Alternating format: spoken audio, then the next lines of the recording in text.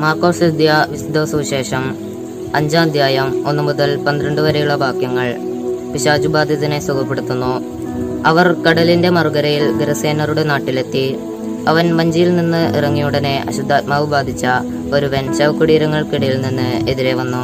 ശവകുടീരങ്ങൾക്കിടയിൽ താമസിച്ചിരുന്ന അവനെ ചങ്ങല കൊണ്ടുപോലും ബന്ധിച്ചിടാൻ കഴിഞ്ഞിരുന്നില്ല. പലപ്പോഴും അവനെ കാൽവിലങ്ങുകളാലും ചങ്ങലകളാലും ബന്ധിച്ചിരുന്നെങ്കിലും അവൻ ചങ്ങലകൾ വലിച്ചു പൊട്ടിക്കുകയും കാൽവിലങ്ങുകൾ തകർത്തു കളയുകയും ചെയ്തിരുന്നു. അവനെ ഒതുക്കി നിർത്താൻ ആർക്കും കഴിഞ്ഞിരുന്നില്ല. രാപ്പകൽ അവൻ കല്ലറകൾക്കിടയിലും മലകളിലും ആയിരുന്നു. അവൻ അലറി വിളിക്കുകയും കല്ലുകൊണ്ട് തന്നെ തന്നെ മുറിപ്പെടുത്തുകയും ചെയ്തിരുന്നു. അകലെ വെച്ചു തന്നെ അവൻ യേശുവിനെ കണ്ട് ഓടി അവനെ ഒന്ന് പ്രണമിച്ചു. ഉച്ചത്തിൽ നിലവിളിച്ചുകൊണ്ട് അവൻ പറഞ്ഞു മഹോന്നതനായ ദൈവത്തിന്റെ പുത്ര യേശുവെ അങ്ങ് എന്റെ കാര്യത്തിൽ എന്തിനിടപെടുന്നു ദൈവത്തെ കൊണ്ട് ആണിട്ട് ഞാൻ അങ്ങയോട് അപേക്ഷിക്കുന്നു.